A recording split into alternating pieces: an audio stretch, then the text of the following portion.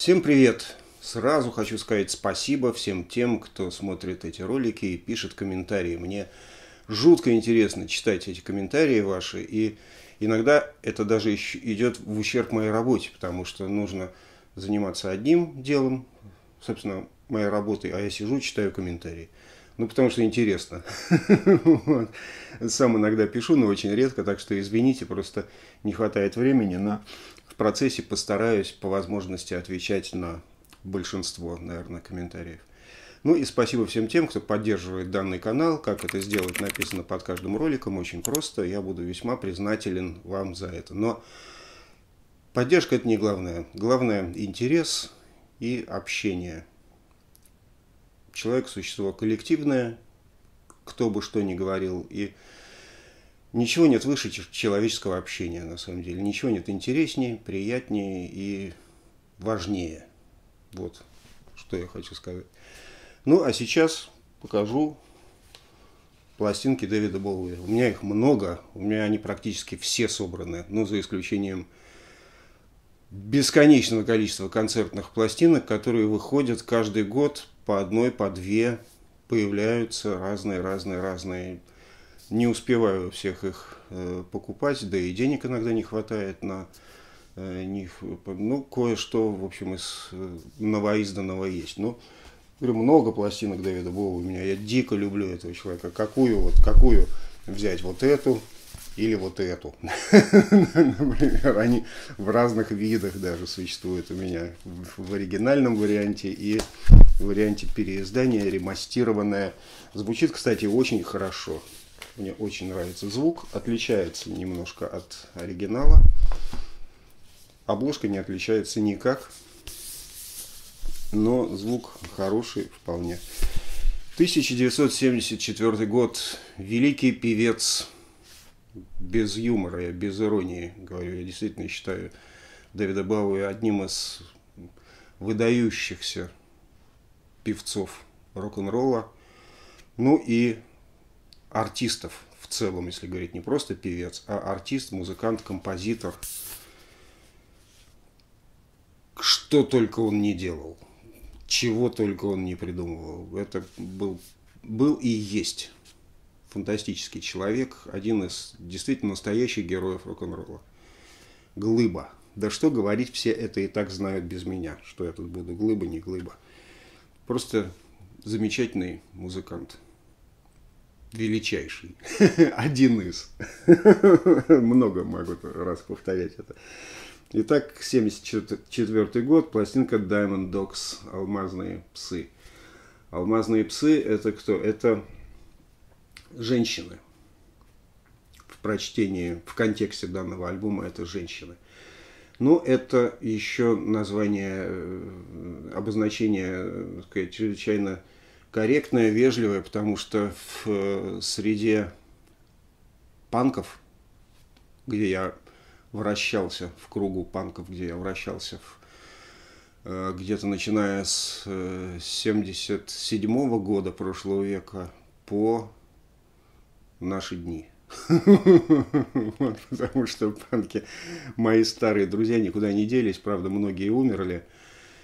Кое-кто уехал за границу, но большинство осталось э, здесь, из тех, кто выжил. Андрюша Панов, к сожалению, покойный уже не принимает участие во всеобщем веселье. Так вот, в кругу, э, этом самом, в кругу Андрюши Панова женщин называли жабами. Не то, что там Diamond Dogs, а жабами – надо сказать, что никто из женщин, с которыми мы тогда общались, на это не обижался. Ну, жаба и жаба, и нормально, весело и хорошо. И Андрей Шупанов говорил такую фразу, произносил все время «радоваться надо». «Радоваться надо». Великая фраза Андрея Панова «Свина». И вот эта пластинка, она полностью соответствует фразе Андрюши «радоваться надо», потому что пластинка по содержанию чрезвычайно мрачная, чрезвычайно заупокойная, я бы сказал, безысходная и беспросветная. Но при этом это одна из самых рок-н-ролльных записей Дэвида Боуи, одна из самых ярких, и они мне все нравятся, пластинки Боуи. У него в каждой пластинке открытие, в каждой что-то новое, что-то интересное и безумно талантливое.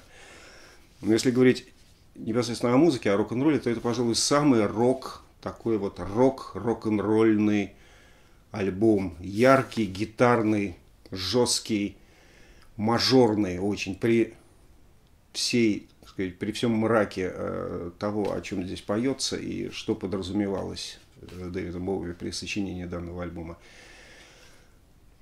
Дико интересная рок-н-ролльная музыка, настоящая. Дэвид Боуи здесь играет на гитаре, помимо всего прочего, помимо клавиш, помимо саксофона. И на чем он еще здесь играет? На чем еще здесь играет? Гитара, саксофон, мук, мелатрон. Да, достаточно. Палитру делает очень яркую. При этом и гитарой, и саксофоном. Здесь нет друг, других гитаристов. Играет на гитаре один Дэвид Боуи. Играет очень неплохо, надо сказать. Очень неплохо. Очень рок-н-ролльно. Очень в мест, в, в, очень, очень все по месту. Все как надо, ничего лишнего. Но и недостатка нет. А то бывает, что человек играет две ноты и говорит, ну, я не играю ничего лишнего. Прум -прум -прум. А здесь он играет много Боуи. Играет много, но не играет лишнего. Но недостатка в, гитарном звуке нет. Очень плотный гитарный звук везде. Жесткий, такой подгруженный, очень хороший. Рифы играет Боуи, соло играет здесь с разными тембрами. Очень даже хорошо, очень даже хорошо. На саксофоне он играет тоже неплохо вполне. Саксофона тоже здесь много. Клавишных все в порядке. Ну, э, на клавишных здесь играет единственный человек, еще кроме Боуи, Май Гарсон из э, состава предыдущего. Эти самые пауки с Марса, Spiders, э, Spiders from Mars.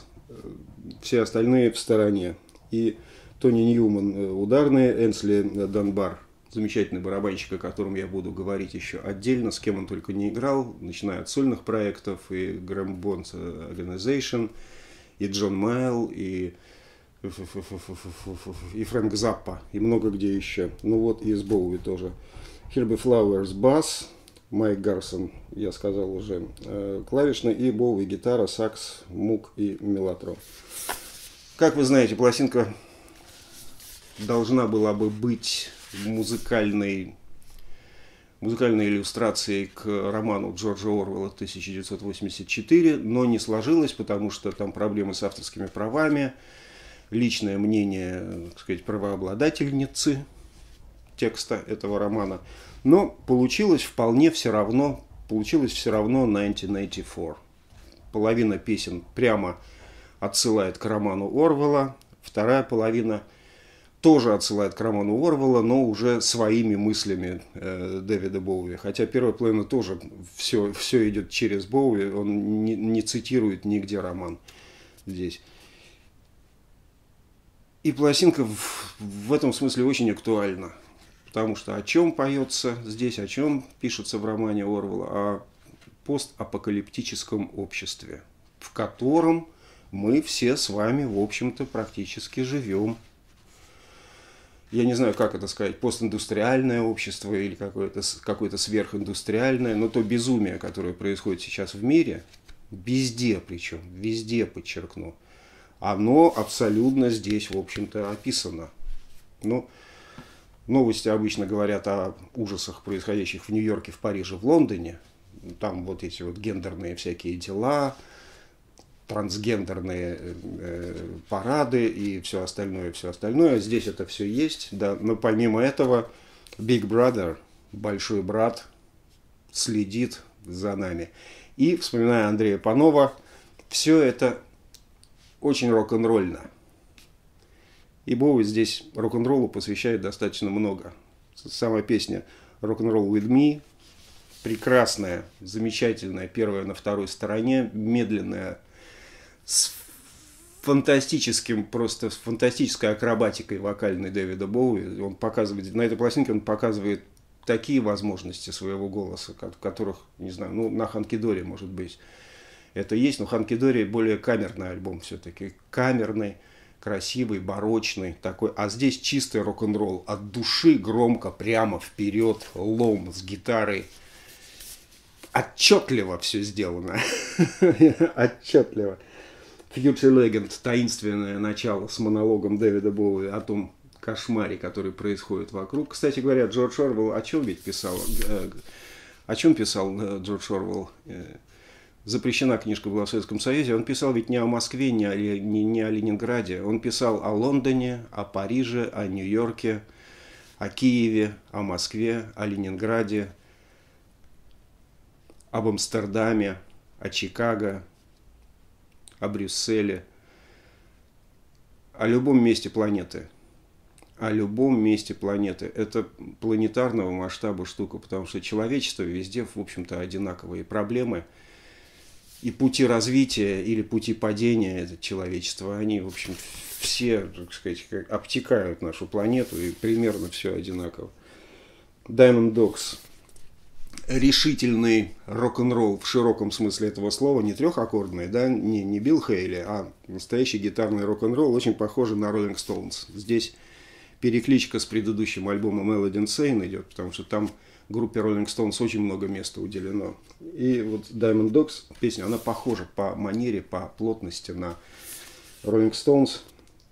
Боуи, конечно, по-другому поет, но потом начинается Sweet Thing – и вот здесь опять вокальная акробатика, длинные ноты, верха, чувство, драматургия.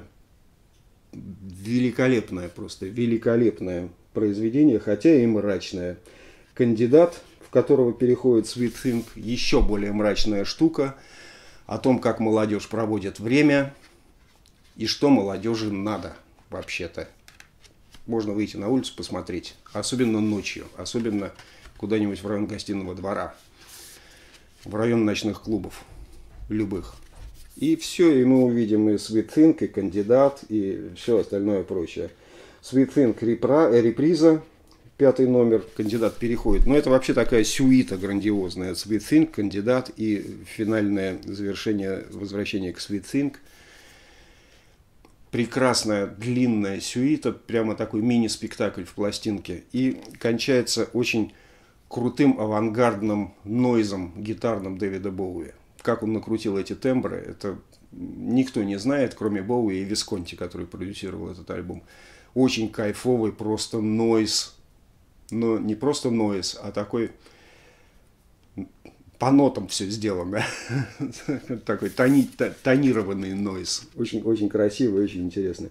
Rebel Rebel. Опять возвращение к рок-н-роллу, опять возвращение к такое эхо Rolling Stones, ну и тема примерно такая же песня, как у Rolling Stones. Rock'n'Roll With Me я уже сказал. Один из критиков написал, что эту песню мог спеть и Элтон Джон. Ну, Элтон, Элтон спел бы ее помягче, конечно, по, так сказать, по изысканней. Не по изысканней, нет. С изысканностью здесь все в порядке у Боуи. Он кого хочешь пере переизысканет, на самом деле. Но Элтон бы, конечно, более округло все это исполнил. А здесь очень жестко, прямо, дерзко – и очень красиво. И очень классно спето. Я повторюсь еще раз. We are the dead. Еще одна медленная песня, но очень мрачная. Очень мрачная и отличная продюсерская работа Висконти с, с этим, с, легкой реверберацией, которая дает такой, такой воздух, такую таинственность, обработан голос, очень интересно, очень мрачно. We are the dead. Ну а что еще? Как еще можно сделать? 1984 шикарное произведение с оркестром, быстрое, ядовитое, мрачное, извращенное диско, можно так сказать, но гитарное и с, со струнным оркестром. Оркестровка Тони Висконти, а на гитаре здесь единственная песня, где э, Боуи не играет на гитаре, хотя он, видимо, играет, но основную партию играет Алан Паркер, такой фанково-диско э, Э, риф э, с квакушкой, такая ритм-гитара сумасшедшая, совершенно невероятная. Так очень сложно сыграть. Ритм гитара это вам не шуточки, это не просто там ля-ля-ля-ля-ля-ля.